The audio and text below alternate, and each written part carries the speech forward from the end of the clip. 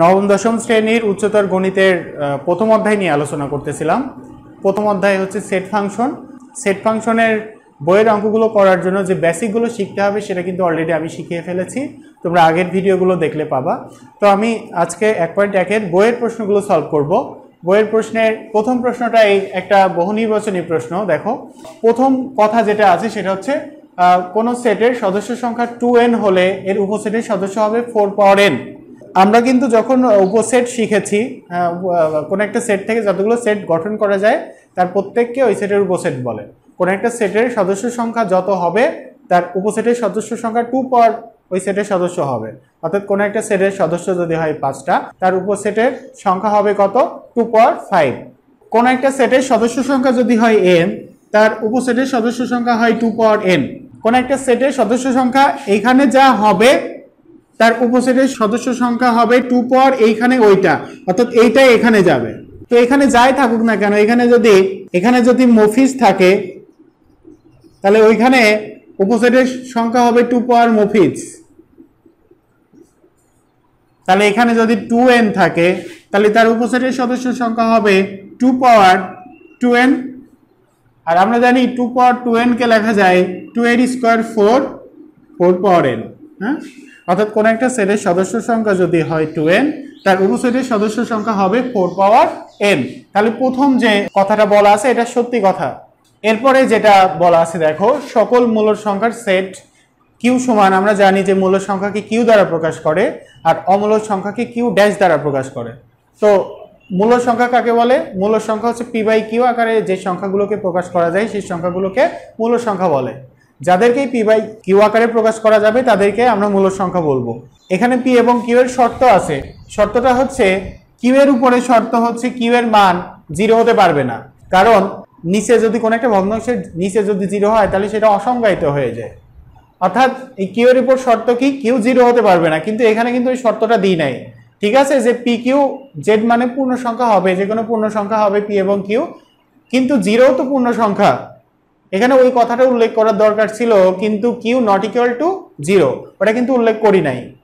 আর যেভাবে লিখছে তাতে জিরো ইনক্লুডেড এর ভিতরে। আর আমরা জানি যে নিচে জিরো হলে সেটা কখনোই একটা মূল সংখ্যা হয় না। তাহলে এটা ভুল, অল্পের জন্য ভুল, অর্থাৎ q not equal to zero এটা হয়তো দিতে ভুলে গেছে।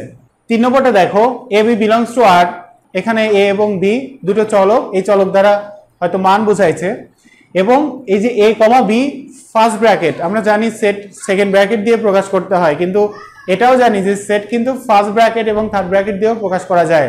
যখন নির্দিষ্ট কয়েকটা সংখ্যা দিয়ে কোনো একটা সেট তৈরি হয়, তখন সেকেন্ড ব্র্যাকেট দিয়ে প্রকাশ করতে হয়। ব্যবধিতে শিখেছি, যদি বলা যায় যে দুই, তিন, চার এরকম সেকেন্ড ব্র্যাকেট থাকে, তাহলে এটা দ্বারা বোঝায় যে এই সেটের তিনটা উপাদান, দুই, তিন, চার।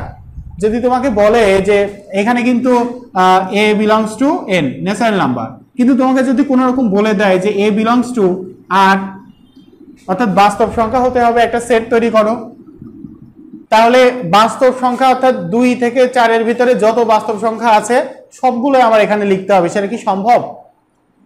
সেটা কিন্তু এখানে লেখা, লিখে শেষ করা সম্ভব না। সে কারণে তখন কিন্তু তোমার এই যে দুই আর চার ফার্স্ট ব্র্যাকেট দিয়ে প্রকাশ করতে হয়। অর্থাৎ দুই থেকে বড় এবং চার থেকে ছোট সকল বাস্তব সংখ্যা এর ভিতরে ইনক্লুডেড কিন্তু যদি দুই এবং চার দুটোই ধরো, তখন থার্ড ব্র্যাকেট দিতে হয়, দুই চার। অর্থাৎ দুই থেকে দুইয়ের সমান অথবা দুই থেকে বড় এবং চারের সমান অথবা চার থেকে ছোট সকল বাস্তব সংখ্যা এর ভিতরে আছে। তো সেকেন্ড ব্র্যাকেট দিয়ে শুধু সেট প্রকাশ করা হয় না ফার্স্ট ব্র্যাকেট এবং থার্ড ব্র্যাকেট দিয়েও সেট প্রকাশ করা হয়। কখন থার্ড ব্র্যাকেট বা ফার্স্ট ব্র্যাকেট দেওয়া হয়? যখন চলকগুলো দ্বারা বাস্তব সংখ্যা বোঝায়। এখানে দেখো এই বলতেছে এক্সটা হচ্ছে এর থেকে বড় এবং বি থেকে ছোট। তার মানে এ এবং বি এখানে ইনক্লুডেড না। তো ইনক্লুডেড না হলে কি ফার্স্ট ব্র্যাকেট দিয়ে প্রকাশ করতে হয়? আর ইনক্লুডেড হলে থার্ড ব্র্যাকেট দিয়ে প্রকাশ করতে হয় এখানে। অর্থাৎ এটা সঠিক। এরপরে দেখো, দুই, তিন, চার এই তিনটা সেট সেটের ইন্টারসেকশন করতে হবে। তো সেটটা দিয়ে দিয়েছে হচ্ছে প্রত্যেক এন বিলংস টু এন অর্থাৎ এনটা হবে সকল স্বাভাবিক সংখ্যা। তো এখানে এ দ্বারা সেট প্রকাশ করছে, এখানে এন দিয়েছে। তাহলে আমি যদি স্বাভাবিক সংখ্যা প্রথম কত থেকে শুরু ওয়ান থেকে শুরু হয়, তাহলে এ ওয়ান লিখি।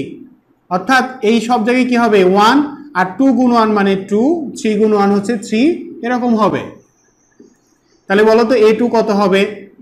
প্রথমে টু তারপরে দুই দুগুণা চার তিন দুগুণা ছয়, এগুলো হবে।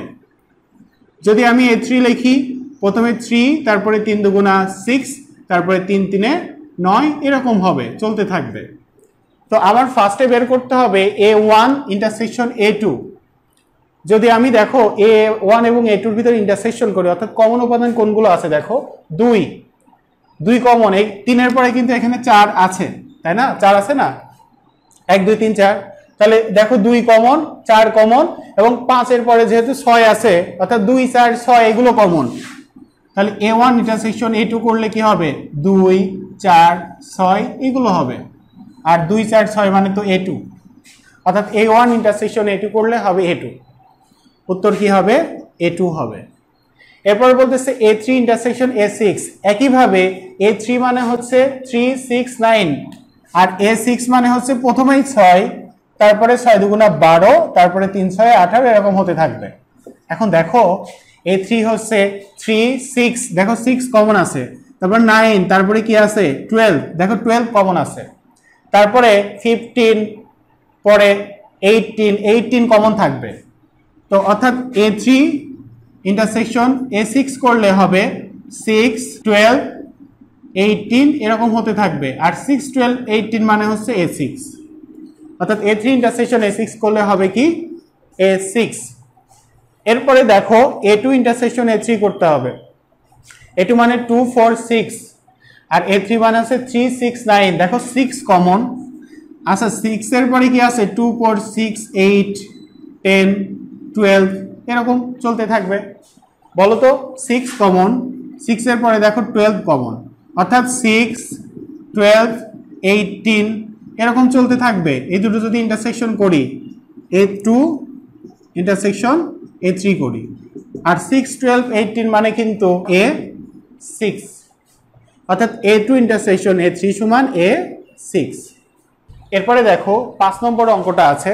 এ সমান দেওয়া আছে এক্স সাজ দ্যাট ওয়ান থেকে এক্স বড় অথবা ওয়ানের সমান এবং টোয়েন্টি থেকে ছোট অথবা টোয়েন্টি এর সমান।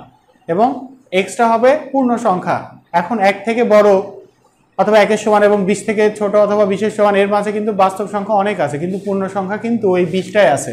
অর্থাৎ এক, দুই, তিন, চার, এই বিশটা সংখ্যায় আছে, এক থেকে বিশ পর্যন্ত। তো এখন এ হচ্ছে এক্স সাজেট এক্স বিজোড় সংখ্যা। অর্থাৎ এই এক্স তো ইউ সেটের চলক, আবার এক্স বলতেছে এ সেটেরও চলক। অবশ্যই তাহলে এ সেটটা ইউ সেটের উপসেট আর যেখানে ইউ সেট থাকবে সেখানে বুঝে নিতে হবে অন্য সবগুলো সেট ওই সেটের ভিতর থেকে আসছে। অর্থাৎ আমি বিজোড় সংখ্যা নিব, কিন্তু মাইনাসের দিকে যে বিজোড় সংখ্যাগুলো আছে সেগুলোও নিতে পারব না এবং বিশ থেকে বড় যে বিজয় সংখ্যাগুলো আছে সেগুলোও নিতে পারব না। অর্থাৎ এই ইউ এর ভিতর যে উপাদানগুলো আছে, সেই উপাদানগুলোর ভিতর যে বিজোড় সংখ্যাগুলো আছে শুধুমাত্র সেগুলোই নিতে পারব। তো তাহলে এইগুলোর ভিতর বিজোড় সংখ্যা আছে এক, তিন, পাঁচ, সাত। এরপরে বি সেটটা বলছে কি? অর্থাৎ আমার ক নম্বরটা হয়ে গেছে। ক নম্বর কিন্তু এ বের করতে বলছে। খ নম্বরে বি বের করতে বলছে, বি হচ্ছে মৌলিক সংখ্যা। এর ভিতরে মৌলিক সংখ্যা কোনটা আছে? আমরা তো জানি যে এক মৌলিক সংখ্যা না, অর্থাৎ দুই থেকে শুরু, তিনও মৌলিক সংখ্যা, পাঁচ মৌলিক সংখ্যা, সাত মৌলিক সংখ্যা, এগারো মৌলিক সংখ্যা, তেরো মৌলিক সংখ্যা, সতেরো মৌলিক সংখ্যা এবং উনিশ মৌলিক সংখ্যা। এই সংখ্যাগুলো আছে বি এর ভিতরে, অর্থাৎ বি সেটটাও কিন্তু আমার হয়ে গেল।